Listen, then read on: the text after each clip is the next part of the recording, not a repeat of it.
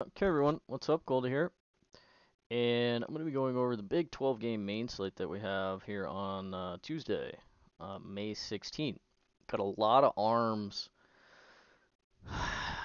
pretty dissimilar to yesterday. Uh, a lot of arms on the mound here. Um, some decent tournament spots I think you can get to on the mound. Maybe a couple of pivots that you could make to get off of some ownership uh, if necessary because there's probably a pretty popular game that you're likely going to want to get to today down here at Coors Field. Um, we have a rookie making his debut, Brandon Williamson. Kid's got an xFIP north of six in the last couple years in the minors, so um, that's not good. And you also have a uh, kind of a bullpen game over here from Colorado, so might need to make some ownership pivots here on the mound. Um, as always, on a 12 game slate, you can make plenty of ownership pivots if necessary with your hitters uh, in your stacks. L- fewer spots to get to today than perhaps yesterday when we saw a lot of runs scored last night. Um, kind of talked about that. Uh, I mean, I don't know. That's the impression that I got yesterday coming out of the the, video and um, analysis that I wasn't really thrilled about any of the pitchers on the mound. Three of them made me look like an idiot. Um, and an offense or two made me look kind of stupid too. So, uh, you know, we have that. But today I think it's going to be a little bit different in that we've got plenty of arms here that are just less likely to get blown apart, uh, like a lot of the guys did yesterday, right? So, that said, uh, there's still some attackable spots. Um, and with full 12 games on the docket, let's just uh, let's just get into it here. So we'll start with Yankees of Toronto uh, once again, and we have kind of a really and very interesting spot, I think, uh, with Domingo Germán on the mound here against the Blue Jays. Um, now Domingo, he like he's been excellent uh, so far this season. High strikeout rate, throwing a lot of strikes, and getting a boatload of chase. Very high swinging strike rate. This curveball changeup mix has been fantastic for him. Now he still gives up a little bit of power, and that's really how we've attacked Germán in the past, right? Is I mean, mostly with righties at least this season in the past, this ISO number, realized ISO, has been north of 200 really to both sides. And the X ISO now, based on StatCast metrics, is now down under 170 in aggregate. So this is very encouraging from Germán. Uh, and he's had a couple of very good starts this season. So I think we can consider if we need to get to this mid range um, not sure I'd go out of my way to target this necessarily because this is still Toronto. They're still a kind of a difficult matchup, but he's been fantastic um, with the swing and miss against the right side. Like I said, he still give up a little bit of power and a little bit of hard contact with some balls in the air. And that's really due to the lack of elite four seam command here. He's struggling the most with this pitch, as he has in the past, but he's got the two seamer now that he's getting that he's getting a, a good bit of value with, and he can go to that if he's not feeling this four seamer, not spotting it, uh, kind of floating over the middle of the plate a little bit, just not comfortable. Um, but the changeup and the curveball have been excellent, and he's kind of similar to like a uh, like a Charlie Morton, um, and throwing this curveball and a Wainwright, right? North of 40% of the time. It's an excellent pitch. He's got incredible whiffs on it. Don't have that data here in the sheet, but uh, so you just have to trust me there. Um, so the the mix, the the, uh, the breaking and the and the off speed mix here has been very good for him, and he's thrown a lot of strikes, like I said, with huge chase. Um, we've talked about attacking Toronto with breaking pitches. They've been very attackable once again this season, in particular with a, a slider, but a curveball, similar pitch and similar break. Um, you can attack with that as well, and he'll throw this righty righty change up a little bit. It could be a very devastating pitch to same handed hitters if it's good, and this is a pretty good change. So I think we could potentially consider some Domingo Germán on the mound tonight uh, against Toronto. If you land on this, Um, this ownership, I think, is too low for the upside that he offers in this particular matchup. Now, generally, yeah, we don't want to go after Toronto. 22% aggregate K rate against righties, 107 WRC plus, hit the baseball hard, and they're mostly on a line and, and in the air here, so it's it's fine. Um, their number, their aggregate numbers against Toronto or against righties rather for Toronto, 326 WOBA, hitting for about a 253 average, so mostly just average pretty much everywhere. But this is kind of, I would say, a, a below average spot against Germán. He does give up a little bit of pop, but we see over here that he's just got a 229 expected batting average in aggregate, 310 x WOBA, and I talked about the the X ISO sub 170 now with a 26% K rate. These are really really good numbers, and despite a slightly elevated hard contact rate, we can, I think we could attack this and consider this as a super off the board tournament play. Uh, when we've got a lot of really chalky arms uh, that will end up going over. So I think this is in play. Um, it's you probably have to force some of this in because it like he doesn't project well. Teams usually or pitchers usually don't against um, against Toronto, of course, because of the lack of raw strikeout stuff. But it's there for Germán, and this curveball changeup mix has been very equitable for him so far. So I think this is playable. Uh, probably going to take me off most of Toronto, I would say and it really doesn't change because every single day they have a they're like the Yankees of the last several years. Um, their their implied run total is, is north of five every single day. It doesn't matter who it is uh, or who they get on the mound on the other side. But at these price tags, I'm not sure I want to go after any of the Blue Jays and play Bo Bichette. His price has come down. He's back to 52 now.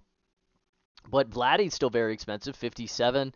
Matt Chapman still at 59. He's been by far their best hitter, so he would be the one I'd be like pretty okay with paying that elevated price tag for. It's a good price on Springer, yeah, at at 44. He's been struggling a little bit though. Um, Dalton Varsho still at a playable 4100. So if you'd like to get to some Toronto as a very off the board stack, they're well down the list, I think, but just kind of you know middle of the road so far. Um, I don't think this is horrible going after him because historically he has still given up some power uh, Germán and some hard contact with some balls in the air. So it's it's still reasonable, but he's thrown a, a lot more strikes this year, and the control has been far better than in the past. So uh, I would probably prefer to side with Germán here than the Blue Jays. Um, I think it's going to be pretty hard to to get to the Jays tonight. Kevin Gausman is going on the mound for Toronto, and I don't think it's going to be very hard to get to him. However, 10-7, I like this. Um, K stuff has been fantastic this year. Of course, 34% aggregate K rate. Still doesn't walk people. He's had a couple of clunkers here and there where he just he floating this splitter and it's up in the strike zone and he just gets blasted. Uh, slider has been well below average, uh, certainly for him. It's usually a pretty okay pitch. Uh, and really, his moneymaker is the splitter. So he's not eking as much value out of this pitch as he normally does, despite having a lot of whiffs still and a very high aggregate K rate. The the expected metrics 230 average, 284 x WOBA, and a 171 x ISO still very strong. Still giving up some hard contact, and he'll do that, but he stays down in the strike zone, and it's it's usually something that we can deal with in the 30 to 35 percent range uh, when you, are getting ground balls. When we get up into the 40% range, as he is so far in this shorter sample against lefties, that's when we kind of need to take note. And that's because the, he's not burying the splitter enough, and he'll still get on the barrel a little bit with this four seamer here. That's why we see an elevated barrel rate pushing 10%. That's kind of the threshold that we look for. Anything above 10%, uh, that's when alarm bells should start to go off. But um, Gausman has been fantastic. He's going deeper into games this year, and the Yankees have been attackable with right-handers that have high strikeout stuff uh, really all season. Look at this chase rate. It's always been elite for Gausman. This is one of the highest numbers, if not the highest number, in baseball for a starting pitcher. The chase rate is just out of control high, and that's really what you want to see. It's because of the splitter. So, despite the fact that he's not eking all of the value on the split itself, so far this year, he's still got the chase and he's still got the swinging strikes and the CSW itself still north of 30%. So I think it's a very playable spot and sub 20% ownership. Uh, I think it's fine. You're going to see ownership really spread apart with all of the guys up at the top today. Uh, but I think Gausman's very playable at 10-7, um, even against the Yankees, who, as we mentioned, are getting a little bit healthier. They put up a real crooked number last night, but that was against Alek Manoah, who has struggled this season. Gausman has been far, far better. Yankees overall just average, right? 100 WRC plus. Below average strikeout rate, or above average, depending on how you look at it. 22% here. Walk rate about average. WOBA, BABIP, ISO. Hard contact a little elevated, yeah, sure. But not creating so much just yet. So, um, as we get into the summer here and, and the lineup is healthier and they start, really start clicking, these numbers will probably start to drift up, uh, at least the production. They're still going to hit for some power, but um, overall, I mean, most of that's still going to come from like a, a Judge or, or a Rizzo or something like that. Uh, if you did want to get off of some of this ownership from Gausman, probably not totally necessary today. Again, it's full 12 game slate. Probably don't need to do that. Um, and look for deliberate leverage stacks against really good arms. Uh, we'll talk about a couple of stacks later that we might be able to consider. But in this particular spot, yeah, you can play Judge. You can play him every day. You can play Rizzo against pretty much every righty in baseball. Low strikeout rate, a lot of pop. And seeing the baseball now, uh, a little bit better is Rizzo down to 4,600 today. Uh, obviously a below average matchup, but he's still okay. Jake Bauer is still 2,000. So if you need to make the Judge and Rizzo plays a little bit cheaper, I think that's a reasonable consideration to make a little short stack of the Yankees, probably off of full stacks. Um, as I said, the the Yankees are pretty well down the list. We don't want to go after Gausman in in most scenarios. Uh, okay, Tampa and the Mets. Man, the Mets have been bad. Tampa has, of course, still been good. They're just going with Jalen Beeks as an opener here today. It's going to be Yonny Chirinos that'll come in after him, and I don't know. I'm not super thrilled about um, attacking the Rays in a bullpen game with the Mets. Uh, the Mets is Mets offense is really built for contact and run production uh, rather than raw power. Even though they've got some guys that can hit it over the wall, notably Pete Alonso, a little bit of Frankie Lindor, of course, but everybody else mostly just a contact hitter. Uh, even Starling Marte anymore not hitting the baseball over the wall. They do have some pop from like Frankie Alvarez behind the plate. Um, you know, a couple guys here and there. Brett Baty, a little bit of pop.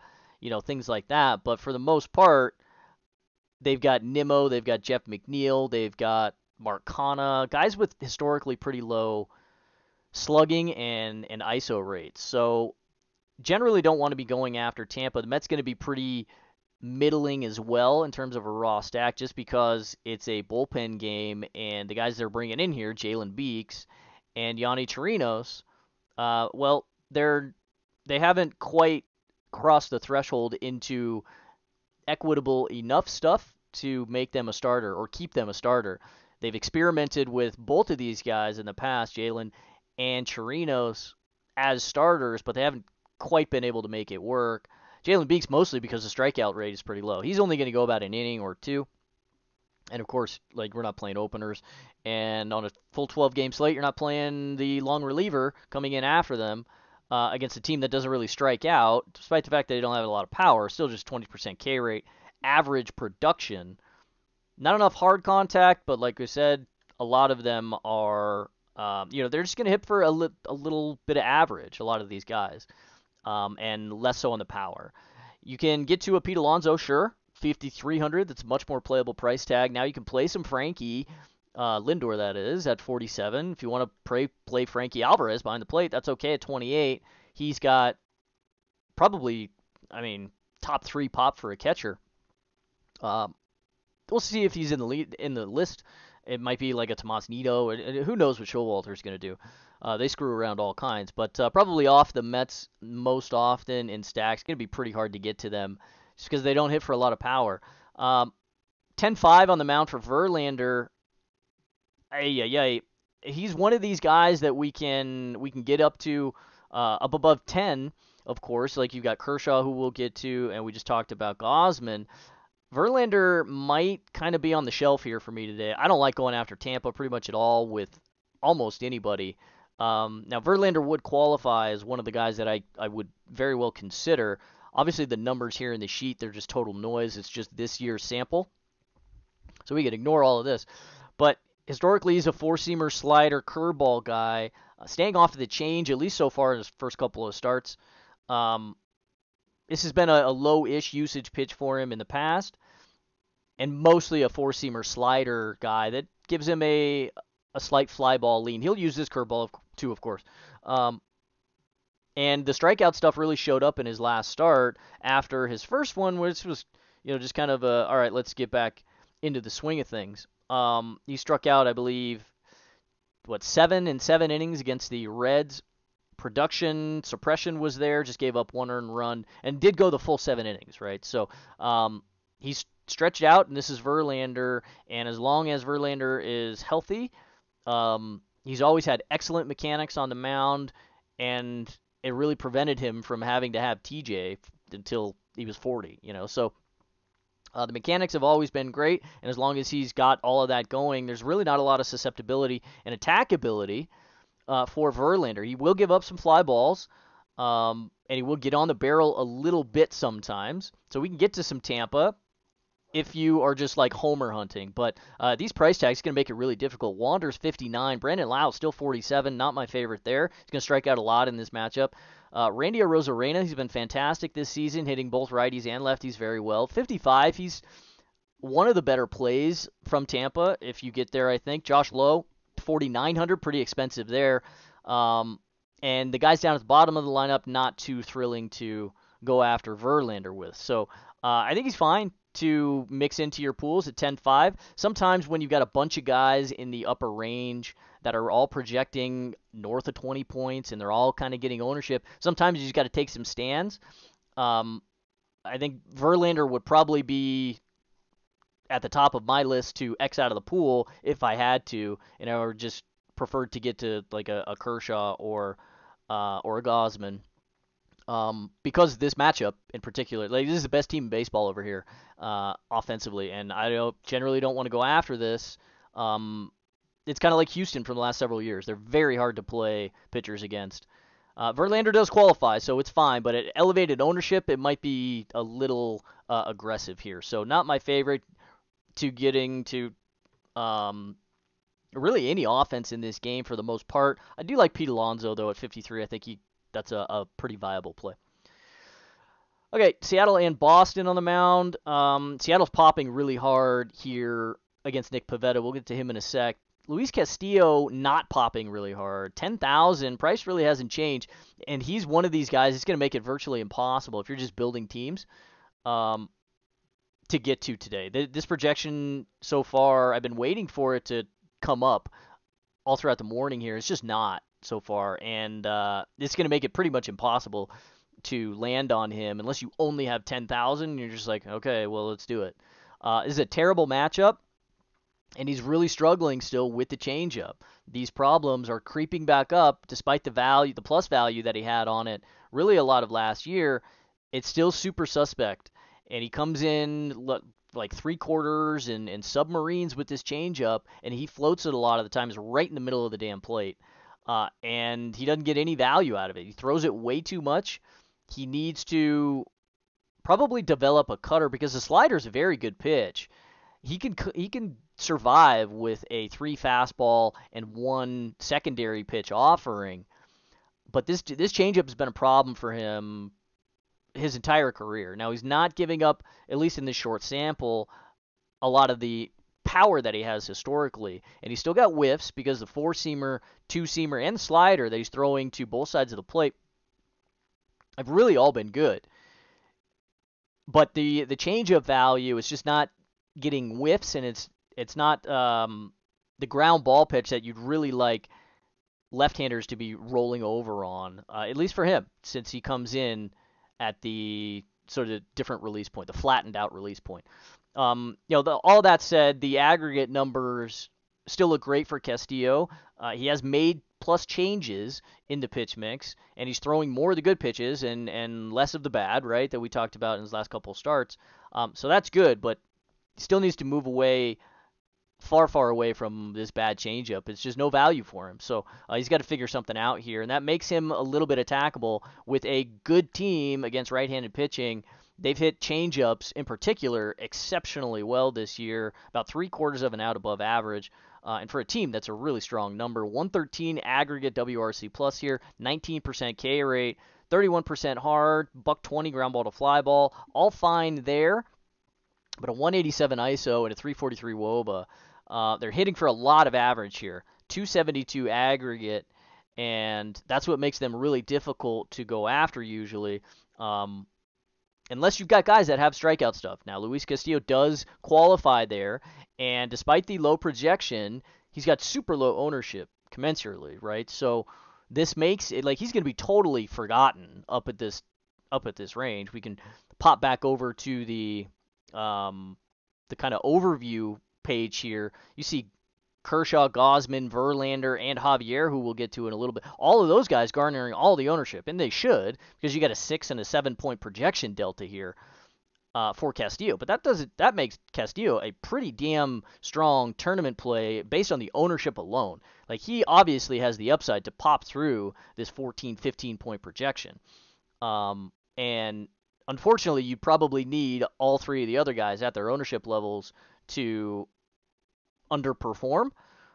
But it's it's totally reasonable. Like he doesn't have to outperform every single one of them, be the highest scoring pitcher for you in this range or or anything like that, right? He just has to allow you to save enough money to make the rest of your lineup build work and you get the the boon of sub five percent ownership here. So um, this makes him a good tournament play in a very difficult matchup. Don't get me wrong, I do not like going after Boston, uh, especially with guys with a, a sub par off speed pitch. Um, the the slider and fastball mix here will allow him to survive. So. Uh, I think it's an okay tournament play if you land on this. I'm not going to go out of my way and force this in, and because it, would be, like I said, very, very difficult um, and you'll probably just get 0% if you just build a bunch of teams here. Um, does that mean you can get to Boston? I mean, I don't really want to go after Castillo generally. Uh, sure, you can play Devers against everybody. That's not a problem. Yoshida got a day off yesterday, but he's still 5,600. Alex Verdugo doesn't strike out a lot. He's 5,000 though. Um, historically, not a lot of power. Hitting for a little bit more this season, but eh. Jarren Duran's been great. They let him off yesterday with uh, Yoshida getting a, a breather. He's still 3,900. He's going to strike out a lot in this matchup. Um, so will Triston Casas, you know. So you can make a stack happen, but you're not getting any leverage on Castillo, and that's really how I'd prefer to attack this because I respect this arm and I like playing him. He's got good stuff here and a lot of strikeout stuff. So I think I'd prefer to side with Castillo if I had to choose. Um, but I don't like going after Boston, and I really don't like stacking against Castillo in general. On the other side, 6,600 for Pivetta. I do like stacking against him, and we are seeing a lot of love come to Seattle here in the early going. We'll um, give you a kind of a sneak peek of something we're building in the background. This is kind of the uh, the aggregate sheets value scores and and their roughs top stack percentage based on uh, based on that that value score along with their ownership here. And this is kind of where we're falling um, so far in very early ownership runs here today. Uh, this is the total price tag of each of the uh, the top five guys. Um, you can see here that's what the stacks look like here in the early going. Um, and you see, so let's get kind of get to the point here that Seattle's coming in as the second best value on the slate. Of course, we'll get to Colorado and Cincinnati here at very high ownership for them. They're definitely popping in the top three, of course, but Seattle right there in the middle, right? So um, that's because Nick Pivetta has been getting absolutely blasted this entire season. So much hard contact. He's always given up a little bit of hard contact and a lot of fly balls. In aggregate this year, 080 ground ball to fly ball, that hasn't changed, really to both sides of the plate. But the hard contact pitch info rate is at 41.5%. Um, this is a huge, huge number. He's given up an aggregate two two homers per nine, mostly to lefties, but he's given it up to righties as well. 316 realized ISO to the left side with a 267 average, 396 WOBA. K rate, sure, to the left side, but you kind of throw all that out the window when he's giving up this many fly balls and this much hard contact. No soft contact induced whatsoever. Uh, and he got beat up really, really good by Atlanta in his last start. Hot again in in Boston tonight, pushing 80 degrees. So I think you're going to be able to see some offense. This is why Seattle's popping so hard. He gives up 44% hard contact to the right side too, with a 193 realized ISO and a far lower strikeout rate. So you can play everybody on on Seattle over here, and ownership wise, they're coming in third as our little graphic kind of displayed over there. Uh, we'll see how that shakes out over the rest of the day, but you're still going to have very high ownership come to both Colorado and Cincinnati.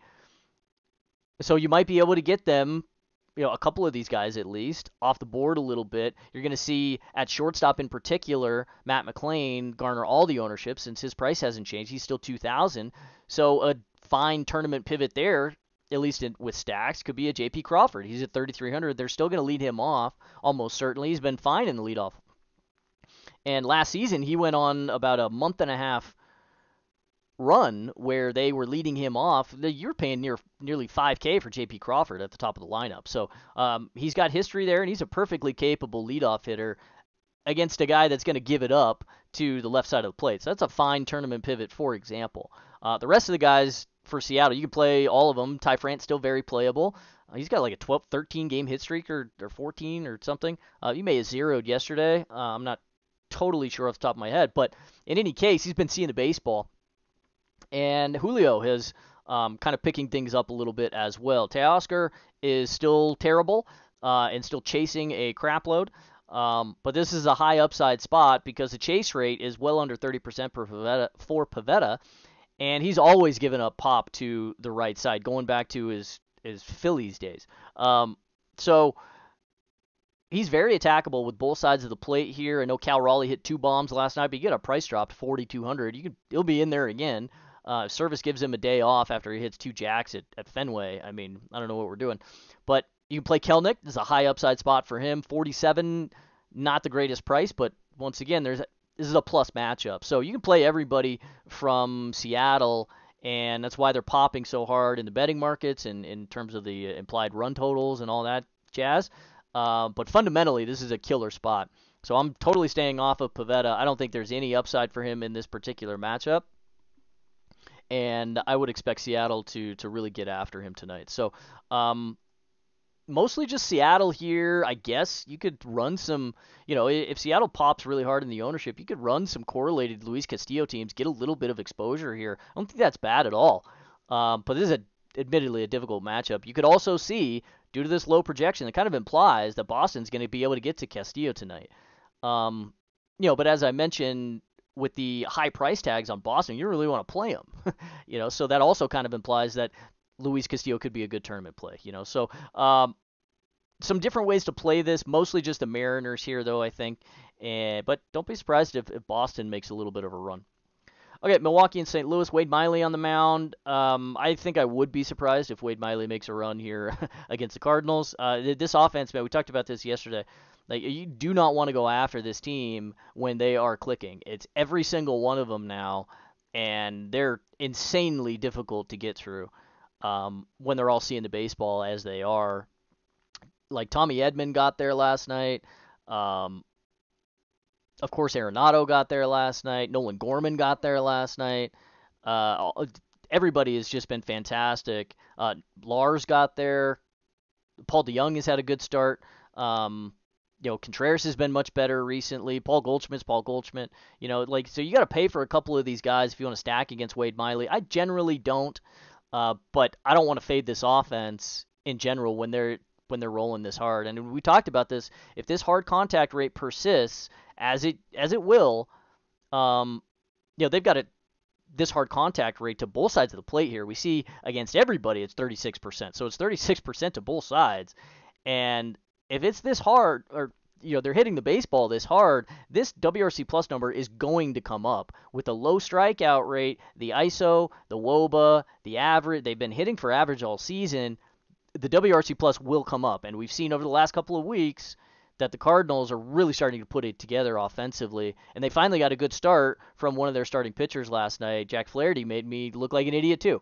Um, doesn't mean I'm going to stop stacking against him. Uh, Wade Miley, I generally don't like stacking against him, however, despite the my love for the Cardinals offense here. I I would certainly do it. He's having a lot of trouble throwing strike one here this this season. And this is a full seven starts now, 40 innings. Like this strike one rate converges the fastest out of anything. Um, and this is 50% here. This is a big problem. He's throwing a lot of junk still, but he's mostly four seamer cutter change, getting some value out of those three. But the slider curveball mix is like kind of meh. He doesn't throw the curveball a lot. That's fine. Uh, sliders not really been great. So he's struggling with getting a a lot of value out of a, a breaking pitch and, and keeping the ball on the ground, which has really been Wade Miley's strength most of his career. And as we see here, an 080 ground ball to fly ball now. So not getting any ground balls out of the cutter, changeup, and the lack of a slider here, it, it's making it difficult for Wade Miley. He's actually been blown apart in a couple of his starts this season. Um, it's not really translating the bad strike one rate to a full on walk rate, but this hasn't fixed itself, right? And as I mentioned, this, like, you throw strike one or you throw a first pitch to every single hitter you face. So this is the most um, predictive in terms of like a, a plate discipline number, right? Uh, of all of these stats here. So as long as this number persists at such a low figure, sub 50%, the walk rate will eventually come up because he's not getting value out of secondary offerings outside of the changeup. Yeah, he's throwing that 25% of the time, but you can't survive with just fastballs and a changeup. Um, I mean, you could survive, but you can't eke out value, right? And eventually, you'll you'll start walking people if this strike one rate stays this low just because you put yourself in difficult counts. If you don't have the breaking stuff to get out of those holes, it's going to make it that much more difficult for you. So Wade Miley struggling here in the early going. So I I mean, you certainly can't play him. He doesn't have a raw strikeout rate as it is. Um, so despite all of that nonsense, you know, just look at the real important numbers here 14.5% K rate, 6.7% swinging strike rate, 24% CSW. No, thank you. not dealing with this um, at all against this uh, very hot offense over here. Jordan Montgomery on the mound for the Cards, 7,400. I think you can play this here tonight. Uh, now, despite the fact that he's just got a pretty average strikeout rate, he kind of really always has. It's been lower historically to the right side, and he'll give up a little bit more power, a little bit more contact to them for sure. Um, so these numbers are mostly similar to where they have been maybe a little elevated in the hard contact here. It's a shorter sample. I mean, 162 hitters, not all that short though. 195 ISO is about in the same range where he's always been. He's he been elite historically against lefties. So this is noise. Um, still not giving up any power, but the the low strikeout rate against lefties. This is about six ticks lower than his um, seasonal averages from the last couple of years, right? So just 37 hitters here. It's total noise. Eh, here in the early season, um, early parts of the season. I know it's eight starts, but still pretty early. Still throwing strike one, still not walking people. Uh, he will get this changeup down in the strike zone, and he will figure out the the curveball uh, value here, and that's what keeps him elite against the left side. So you you don't want to deal with any lefties from the Brewers over here, and the Brewers have been awful against lefties all season. So I think this is playable at 7,400 for Montgomery. Uh, high projection here, and this projection alone is projecting three points higher than Luis Castillo, for example, at 2600 cheaper. So um, I'd much rather get to him. I think this is probably more of a cash play. Um, in tournaments, I, I kind of have a little bit of concern with raw upside for Montgomery, just because the strikeout rate against righties historically has been low, and I'm still kind of expecting the Brewers to be a little bit better against lefties going forward. Um, now we're, we're seeing the WRC plus creep up a little bit. It's been in the 60s before this, but um, hitting the baseball a little bit harder, 32% aggregate hard contact, but it's still on the ground for the most part. And until they start to lift the baseball, the run creation really isn't going to come up. They're only hitting for 210 average, so they're really a strikeout and, a very low efficiency type of team against left-handers here very low power, so they're not hitting the baseball in the air and over the wall. So that makes Jordan Montgomery with a high ground ball rate himself very playable here. As I mentioned, it's always been elite to lefties. It's north of two, I think, uh, in aggregate for him. He's a little bit more of a fly ball lean relative to the left side, at least, against the right side, but he still has a uh, a plus ground ball number here. So um, I think you can play some Jordan Montgomery here in the mid range tonight. We're seeing the, the ownership creep up a little bit here in the early going. Started the day at about uh, 14, 15%, starting to creep up a little. Um, so if this spikes too hard, I'd probably rather just get to it in cash than tournaments because I think some other guys might have a little bit more upside. But this is this team over here, the Brewers, they've been dreadful against left-handed pitching. You could play Montgomery in tournaments. He has 25 and 30 point upside here in this particular matchup. So I think this is fine. So I'd like the Cardinals for the most part uh, and some Montgomery. Pretty much none of the Brewers. Um, maybe a righty here or there, like an Owen Miller. They'll probably lead him off 2,500, 2,600 or whatever. Uh, I think that's fine, but mostly just the cards. Okay, let's move on. Atlanta and Texas. Uh, Jared Schuster on the mound for the Braves, making his third start of the season. Another just kind of spot start. Um, we'll see if they keep him in the rotation. Everybody's hurt all across baseball, so who knows what the hell's going on. Um, 5500 for him. Don't think you can play this. I, I want to get to some Texas here, and Texas really coming in and middling in both value and ownership. Value because it's 5900 or 5800, 58 for Marcus Semien and 54 for Adolis Garcia. So two very expensive bats there who you'd like to be playing against left-handed pitching. Josh Jung's 4,700 now. Uh, Jonah Heim 4,500. Right, so some pretty expensive pieces. We may very well get Corey Seager back tonight. We'll see if they want what they want to do. I would probably just leave him on the shelf, give him one more day because they got the lefty going here. Maybe pinch hit him or something. Um, but I probably wouldn't start him. I'd just let him uh, you know, get a, a, fresh start against a righty, put him in a good spot coming off the DL. But uh, he's supposedly ready to go. Um, so they're probably getting their, their best raw hitter back um, either tonight or tomorrow. So I don't want to be dealing with even cheap pitchers uh, against Texas. Their numbers against lefties really all season have been pretty damn good. One, uh, 124 WRC plus here. They'll strike out a little bit more, but Schuster's not going to throw it past them really. They're walking a lot. 33% aggregate hard contact rate with a 351 WOBA, high, high average as well. So this is a very dangerous team to go after uh, with left-handers, and I would like to get to some of them tonight. Not sure how that's really going to play out uh, with that pretty expensive pricing. You play Nate Lowe too, 4,500. He's fine. They're an off-the-board tournament stack, but I think there's a lot of upside in this particular matchup. Um, against uh, Jared Schuster. The, he's a four seamer slider change guy, but really no value here so far. We can't really take much out of the out of the value metrics, of course. Um, but the strike one rate for him is also pretty low, and he's had pretty significant issues with throwing strikes deeper into count also. Uh, no whiffs just yet, um, so some susceptibility and just putting runners on base and pitching to a good bit of contact here so far, 79% in this short, you know, whatever, eight and two thirds sample. Um, but he's attackable definitely with Semien, Garcia, Josh Jung, Jonah Heim. We like him a little bit better from the right side of the plate. Uh, kind of an elevated price tag, but he's much better hitter against lefties than he is against righties. Zeke Duran, he'll probably be in there uh, tonight if uh, if they give Seager the day off. Maybe they'll DH him. I mean, who knows?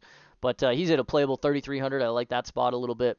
Uh, Duran's problem is Chase, and we don't have a lot of Chase coming from Schuster here. So uh, I think we can get to some Texas. Atlanta on the other side, um, they get Dane Dunning tonight, and I think this is probably the only guy down here in this very cheap range, 5,300 on the mound for him, that you could consider playing. Uh, he's got excellent value out of the sinker cutter mix so far. Changeup's been very good too. Pretty noisy and outs above average relative to the field here in the shortish sample uh, because he's got some bullpen appearances and just the two starts. But uh, he went four and two thirds, I believe, uh, in his last start. Let's check. No, he went a full six uh, against Seattle and struck out five. So historically, Dane Dunning not much of a pure whiff kind of guy, but he did add in this cutter and made some changes in the pitch mix. I think we talked about this in his in his last appearance uh, against Seattle. Um, really good value on this cutter here. So I'm not sure I want to go out of my way to be targeting or to be playing Atlanta tonight. You don't get me wrong, you can play them every single day. Like last night, we mentioned if you could make it happen, they put up another 10 spot and just hit the ball over the wall. Every one of them does it. and they're all seeing the baseball very well. So historically, Dane Dunning going to pitch to a good bit of contact. He's not throwing as much garbage as he has in the past. Like he's eliminated the four seamer. He, I believe, threw a little bit of a split historically as well. But he's got five pitches here, three of them offering a lot of value. He's very confident in this cutter so far this season, and the slider will probably follow as well since they're pretty similar pitches. And that is a full 83% of the arsenal nearly for him. So Changeup's going to help him neutralize some power to the left side. That's Matt Olson, Eddie Rosario, Michael Harris kind of guys. Um, uh, excuse me, to the left side. I think I said right side. If I didn't, um, there's the correction. Uh, in any case, I think this is a playable price tag for him at 5,300. Uh, don't get me wrong, I want whiff stuff when I go after the Braves, uh, and I generally don't like doing this. I, you'll probably have to. I mean, if you land on this, you might get a couple of teams you just build, you know, 150 or whatever, uh, because the price there's upside at this price tag. He can pop for 20 and 25 here, uh, and that's probably all you need tonight in particular. We're likely to see a, a good bit of offense once again um, from some pretty obvious spots. So uh, this cutter is a good, valuable pitch for him. He, it allows him to run deeper into games by keeping the baseball on the ground. So I think this is an okay play at 5,300. I don't want to go out of my way to do it because I hate going after Atlanta with sub subpar strikeout guys. But um, I think Dunning's made uh, some changes here, and they could allow him to survive. And I think his price tag's probably too cheap. So uh, mostly just Texas here. Maybe some Atlanta uh, if you land on some stacks, but once again, they're very expensive. You can make it happen, yeah, go ahead, but um, you know it's still pretty difficult to get to. Okay, Cubs and Houston. Let's get to Justin Steele on the mound. This is one guy in this range I don't think you're going to be able to get to. Um, 9,500. It, it's just a pretty bad matchup. Houston still, like against lefties this season. Look at this number, ready? 15% strikeout rate, and this is more like what we're used to seeing uh, with Houston. Um, very, very low K rate, super difficult to get through. Not striking out at all, not creating just yet because they're not hitting a lot of uh, for a lot of power. 164 ISO and 30% hard contact, but they are about a neutral ground ball to fly ball with a you know 19 20% line drive rate. So this is all fine, and this will come up this creation number as long as the average stays around 250 or so and the ISO stays this high. Uh, these numbers are going to start to drift up a little bit, and especially if they get guys like Jose Abreu to heat up at all. Like he had an extra base hit last night somehow. I, I don't know how where that came from, but um, maybe starting to see the baseball a little bit better is Josie. He's still 2,700.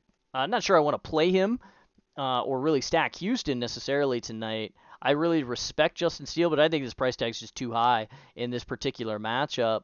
Um, he's got K stuff, and he's struggling a little bit with it though to the right side. And this is a terrible strikeout matchup in general, and I think the price tag's too high. So um, I like the stuff generally with a four seamer slider mix.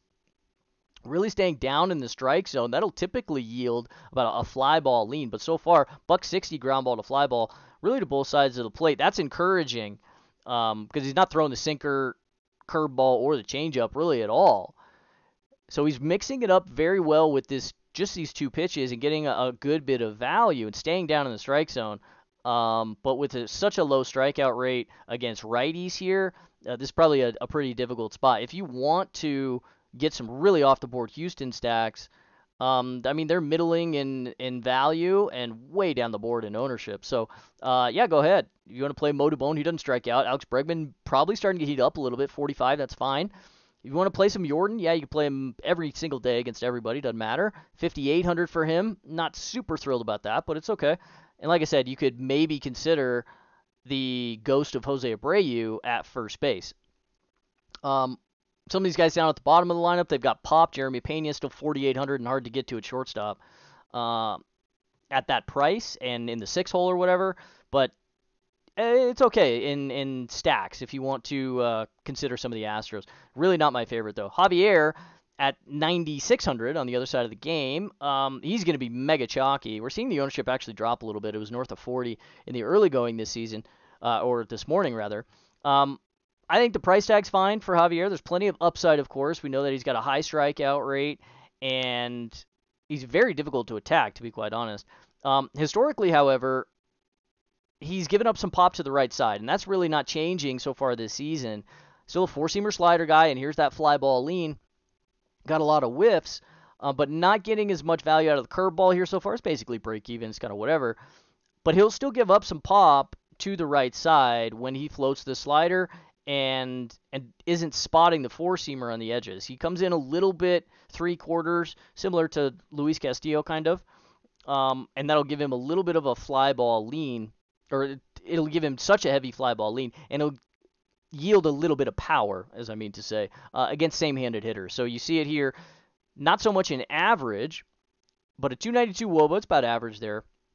215 ISO, 228 X ISO here based on StatCast metrics. So um, 33.5% aggregate hard contact rate, most of it coming to right-handed hitters. 39% the pitch info here. 90 hitter sample, it's not nothing. 1.6 homers per nine. So he's still attackable because he still gets on the barrel. And with a lot of fly balls, a lot of hard contact, and barrels, like that's a perfect recipe. He doesn't. Uh, the only thing we're missing really is a walk rate, but still has trouble getting ahead in counts at 57% strike one. He's got a lot of chase though, and that's really what allows him to uh, sustain a sub 60% strike one rate and and get out of these holes.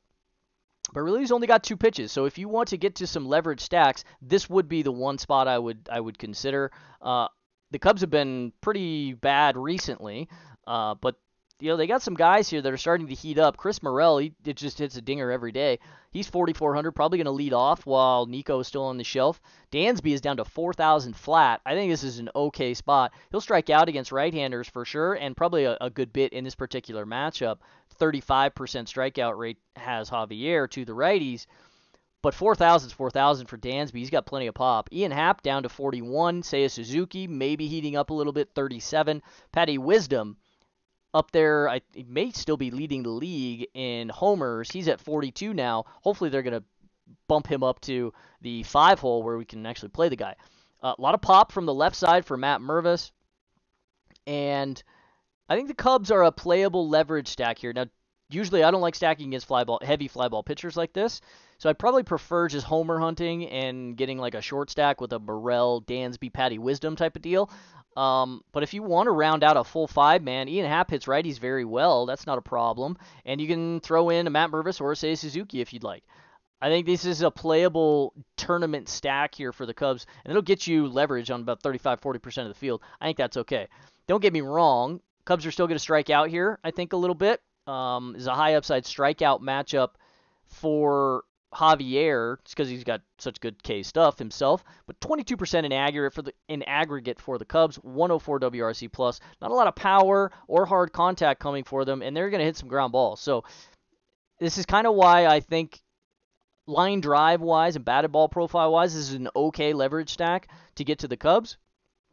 But in general, it's also an okay spot for Javier because he has good K stuff himself, and they don't hit for a lot of hard contact or power.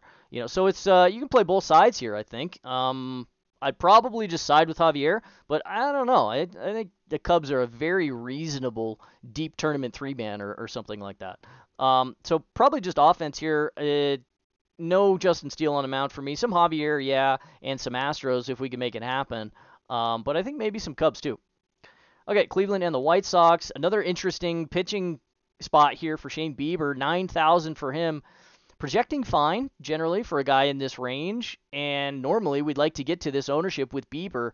However, he's only got a 19% K rate this year. The strikeout stuff has not been there at all. He's still throwing strike one and still throwing strikes two and three deeper in the count. He's never walked people. He's always had a very high strike efficiency rate.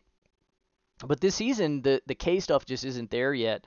Um, he's historically had about a 24, 25% carry to the left side. That hasn't quite shown up yet. He's not able to bury the slider down in on the hands uh, like he, he usually likes to uh, against lefties, which gives him more K stuff against the left side. Um, it's a little less efficient in terms of the raw strikeouts against the right side usually, but this is again two and three ticks below his historical averages. So I think it's going to make it pretty difficult with just a 10% aggregate strikeout rate to get to Bieber. Now he's a very good tournament pivot off of a Zack Wheeler at 9,200, who we'll get to later. Um, just in terms of ownership, the spot isn't all that excellent against the White Sox here. They're a little bit healthier now with Yoan Moncada and Tim Anderson back. 84 WRC plus though. 143 ISO, 29% hard contact rate, a lot of ground balls here too. So not walking, and it's going to probably be pretty difficult for the White Sox to get on base tonight outside of just picking apart Shane Bieber. And I think that is a little bit more probable than it has been in in, in the past. So um, not a I mean, Bieber's probably just going to be on the shelf for me here today. Pitching to a little bit too much contact for my liking. I think a fine tournament spot if you land there. Can't quite get to the Zack Wheeler, but it's a you know not uh, something I'm going to be forcing in. I don't think. Lance Lynn on the other side, definitely not going to be forcing him in today. Not playing him against uh, against Guardians. They don't strike out at all. Uh, 20% strikeout rate in aggregate against righties. 78 WRC plus, however. 25% hard contact rate, 108 ISO, a lot of ground balls as well. So they're they're difficult to pick through because they just don't strike out. They're they're pesky hitters, and Lance Lynn really having a lot of problems with the left side of the plate this season. 350 average allowed, 466 WOBA, and a 350 ISO. Are you kidding me? 51% hard contact rate. So I hate doing this on full 12 game slates. You might be able to play some of the Guardians here. Probably not in full stacks. It's going to be super difficult for that to get there because they don't hit for any power. But Lance Lynn's going to throw it over the damn plate, man. Strike one rate, 74%. This is astronomical. 26% K rate. He's still got some of the whiffs, but this hard contact number to the left side of the plate, it is like he's just throwing meatballs here. High, high barrel rate for him. And he's been very, very attackable. No chase here, so you can you can play some of the Guardians, I think, if you want to. Certainly, like Steven Kwan is 4,400 now. That's a playable piece. Probably not as a one-off, but you can play him in stacks. Josie Ramirez, of course, he's down to 52. I think that's playable too. Josh Naylor, probably not my favorite first baseman at 3,300, but he's 33, and he might be heating up a little bit. Josh Bell probably stay off. Andres Gimenez, still kind of expensive for his performance so far this season at 41, but it's not terrible. So you've got some workable pieces from the left side of the plate to go after some Lance Lynn here. Guys that aren't going to strike out a lot, and he's going to throw he's going to pitch you a hell of a lot of contact here. Four homers per nine. Yeah, it's 88 hitters, but like, I mean, this is a real worrisome number.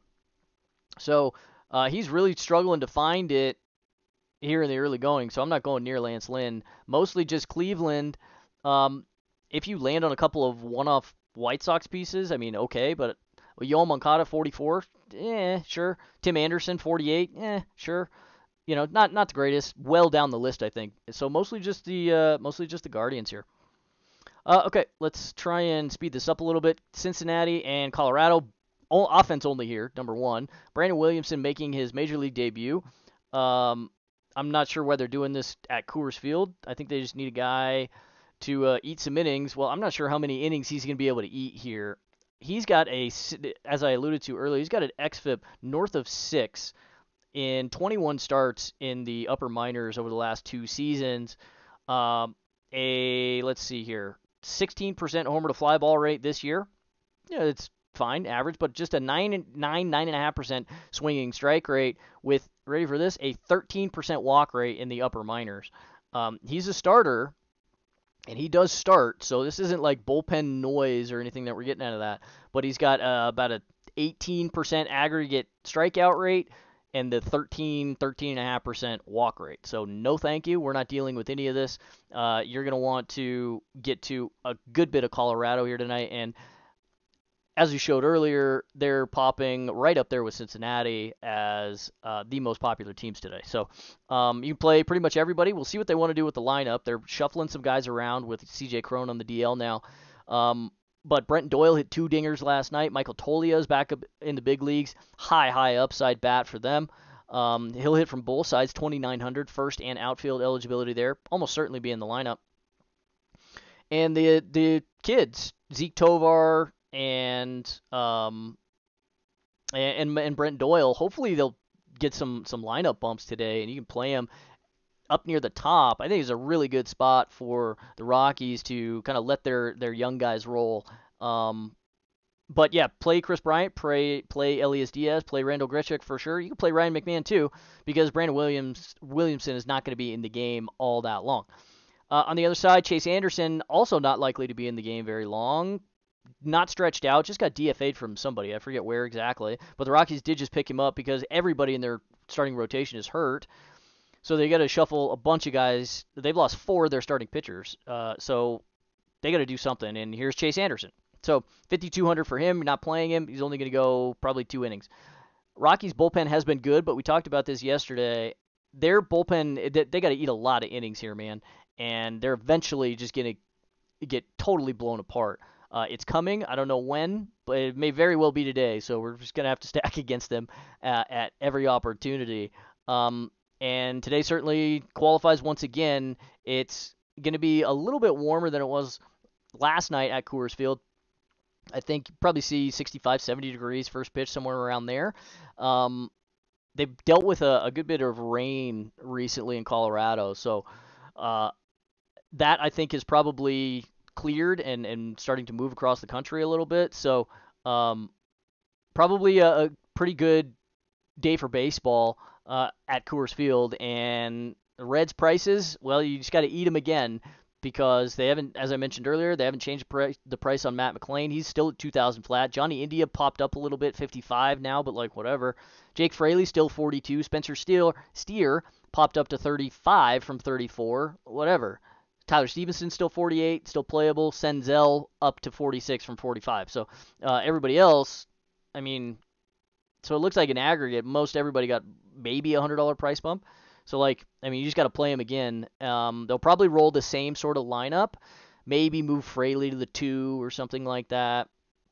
But they're mostly right-handed heavy um, anymore, so it's probably going to be pretty similar to what you saw yesterday. And you just you play everybody because historically Chase Anderson has given up more power and more production to the right side of the plate. He's always been a reverse split guy. And that's not really going to change. Four seamer cutter change mix here in the early going. Um, he's always had a pretty decent change, which neutralizes the power to the left side. Uh, but like whatever, it doesn't matter. It's Fraley, he's 4,200, and the kid rakes. Uh, he's at Coors Field, so play him anyway. So offense only here, and no starting pitching for sure. You just got to balance the ownership once again. Okay, Arizona and Oakland. I think you're going to be able to get to some offense here too. Tommy Henry, he has a 10% uh, strikeout rate in his four starts this season. Like, what are we doing? 57% strike one, having a little bit of trouble there. Elevated 10% walk rate, so it's not like ballooning, but it's still, you know, long term. It, it, he's got a 0% K minus walk rate. Zero. Like, this is, like, unheard of. So, you could play some Oakland because this team over here, you ready for this? This is not the same old Oakland Athletics. 112 WRC plus with a 21% K rate against left-handed pitching. Buck 58 ISO playing in Oakland. I mean, yeah, it's a shortish sample, 450 PAs, whatever. Not a lot of hard, but they're going to get the baseball on a line and in the air. And they've been sticky all season, as we've talked about a couple of times. I believe their last outing against a lefty, an above average lefty, was uh, Martin Perez, and they hit like three or four bombs off of him. Um, who he didn't give up any power at all. So Tommy Henry, really a below average lefty, probably only going to go about four, four and a third here, something like that um, because I think Oakland's going to be able to put together a little bit of offense. You don't want to play them in a full 12 gamer in full stacks necessarily with so many different offenses that we can get to tonight, but you play in Esteury Ruiz, Jordan Diaz, Brent Rooker, Jesus Aguilar. Don't really want to play him at 26 at first base on a full 12 gamer, but he didn't strike out at all. You play Ramon Laureano. Every one of these dudes is cheap. They're all under 3,000, 3,300 or less. Um, outside of Brent Rooker, who's 4,300.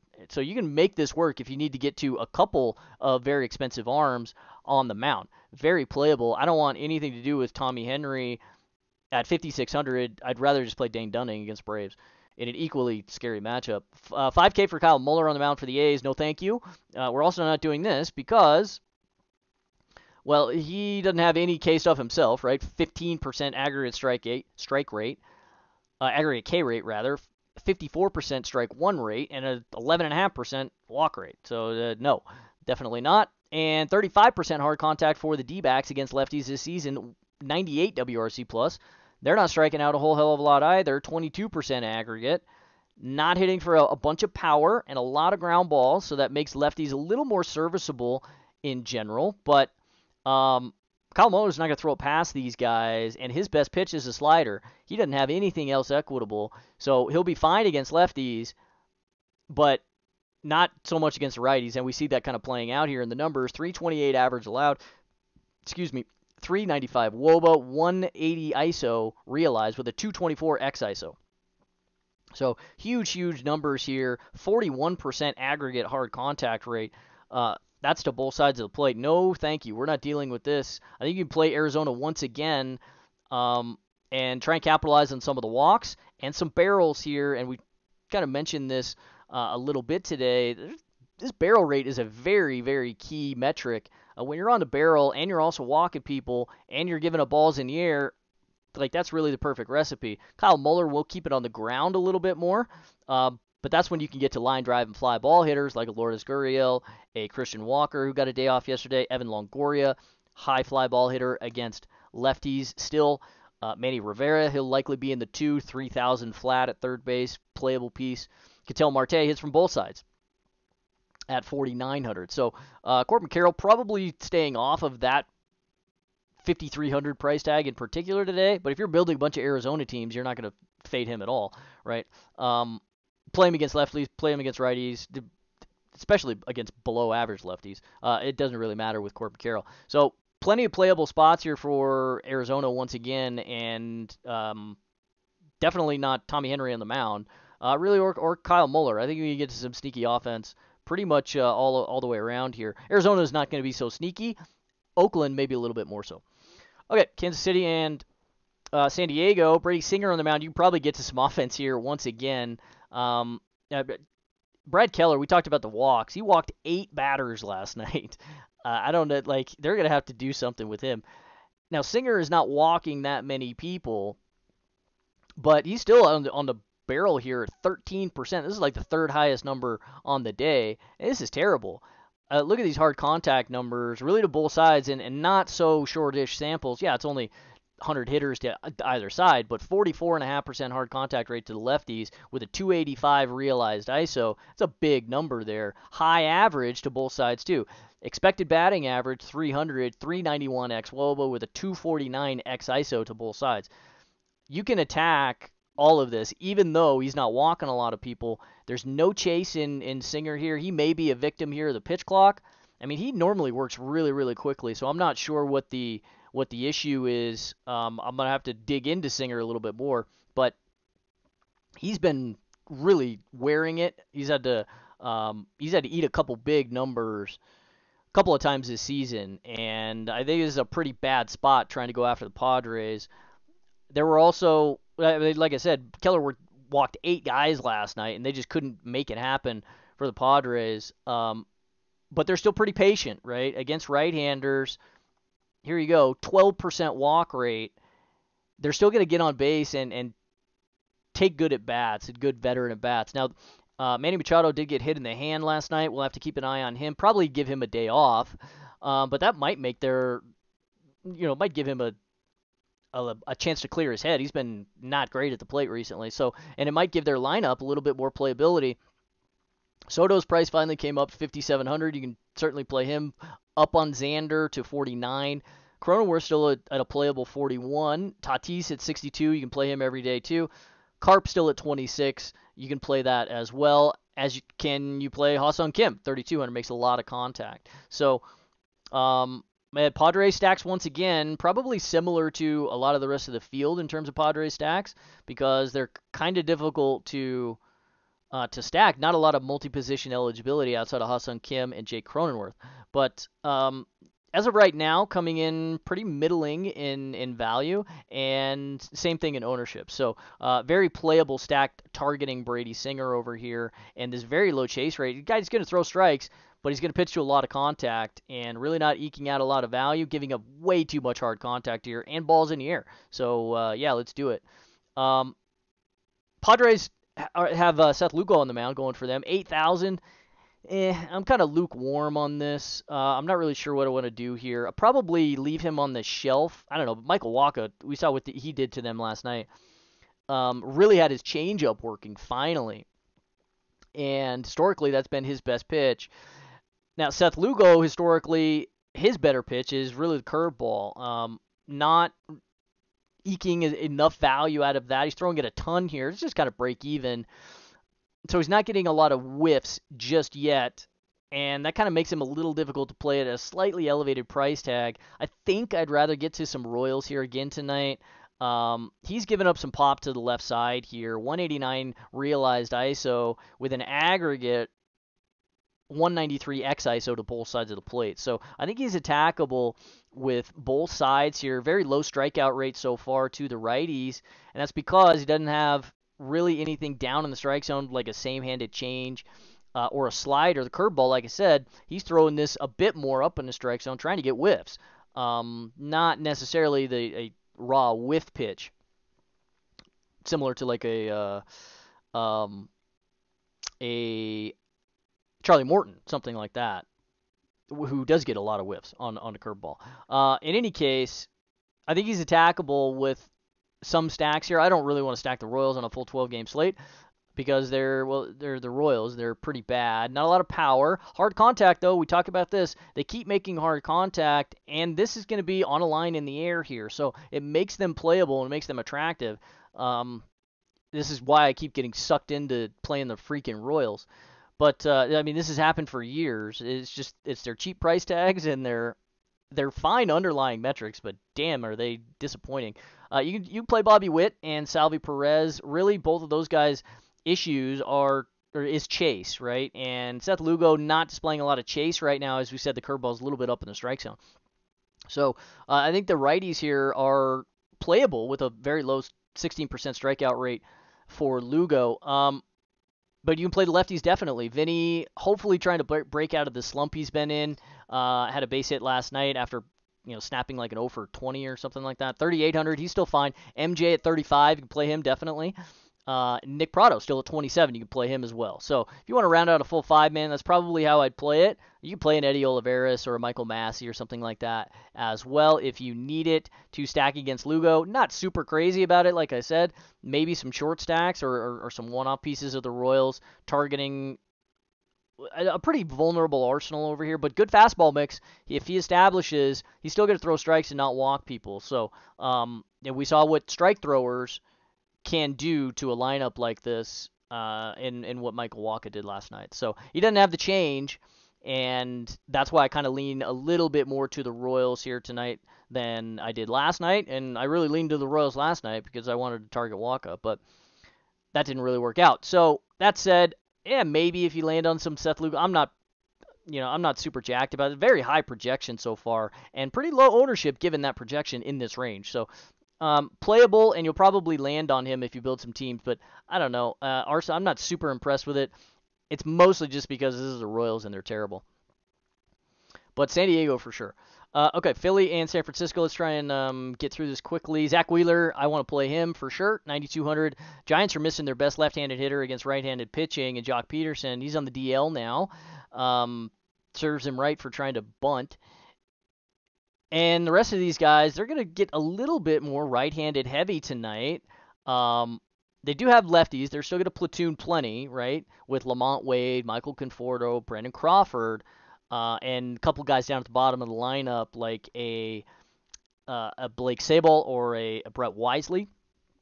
So they'll have those guys in the lineup but they'll be a little bit more right-handed heavy. It's not going to be nine right or nine lefties against Zack Wheeler here like it may have been a couple of weeks ago um, for the Giants. So you can attack J.D. Davis, and you can attack Mitch Haniger, and you can attack a young hitter Casey Schmitt and a Thairo Estrada on the downside of their platoons. So, and this is Zack Wheeler. It looks to be heating things up a little bit, and I think uh, we're finally starting to get mid-season Zack Wheeler. Um, three of his last four starts have been fantastic, and he's been above 10K in each of those starts 10 7, 10 6, 10 7 and well, I guess he was a on the showdown slate against that in that start against Colorado where he struck at 11. But the strikeout stuff's been there in the last several starts 11, 7, 5, and 7 Ks in six innings, six innings, five and a third, and seven innings in his last four. So, um, the run suppression is is still there. He's figuring out the walks, the controls coming back. Talked about a little bit of susceptibility with spraying the baseball um, here in the early going, but that's just early season Zack Wheeler. But it's mostly the price tag here, and I I'm kind of surprised at this ownership. It's because of the other guys at the top garnering so much, but I would really like to go after the Giants here tonight. I think uh, and play some Zack Wheeler. This is a very high projection, and it's going to be pretty hard, I think, to not land on a lot of this. Um, and this is kind of what I meant when you when I said you're going to have to make some decisions and just like X some guys at the top of at the top of the pricing spectrum when you've got so many of them that project well and this is the guy I was really had in I really had in mind with that comment, and um, I like getting to this a lot tonight. I think the Giants are still going to strike out a lot. 25% aggregate K rate, yeah. WRC plus they'll create, they'll hit for some power with some hard contact, but this is a below at well below average matchup and uh, contact matchup that is. And despite Zack Wheeler giving up a little bit of hard to the left side of the plate so far this year, still not translating quite yet into a lot of ISO. a little bit of average, 267, whatever. Uh, you know, you don't want any of these righties against him. So he'll be able to pick through this lineup, I think, and survive pretty well. Um, and attack some guys that are still going to strike out. So I like Wheeler uh, a pretty good bit here tonight. I think you can play Alex Cobb on the other side too. 8,700 for him. Now the strikeout stuff is down a little bit, and that's mostly just to the lefties. Um, not burying the slider into curveball, not getting as much whiff on the split as he normally does, but he's down about three, four ticks compared to last year. So I think this is just early season noise for Alex Cobb. I don't see anything markedly different uh, in the pitch mix or anything. I dug into him a little bit, and everything looks mostly similar. Um, sinker still good, splitter still good, ground ball rate still very high. So I think you could play a little bit of Alex Cobb the Phillies this season against righties, 108 WRC plus, create a little bit, but also a 24% K rate. Difference here is that 29% hard contact rate is a very attackable number. Of course they have Harper back, but and and he'll increase this number you know pretty significantly. But I think this is still attackable here. I don't really want to play any of the Phillies uh, against this kind of ground ball rate. Um, you know, at a very low line drive rate too. 16% is a, an elite number. Too many ground balls and strikeouts that that Alex Cobb can eke out here. He's really got this split going. I think you can very reasonably play an 8,700 Alex Cobb at very low ownership tonight. Good projection for him as well. Um, you could even consider you could, could, play both of these guys in cash if you want. Um, I think this is a, a reasonable tournament play as well. I think Alex Cobb got some hidden upside in this particular matchup. Doesn't walk people and he throws strikes. He stays off the barrel, and despite some elevated hard contact, once again, we don't really care when it's this this high a ground ball rate. So uh, I like the spot a little bit for Alex Cobb as well. So mostly pitching just in this game. Um, I don't want any offense. I mean, sure, you want to play a very hot Michael Conforto 3400 or something.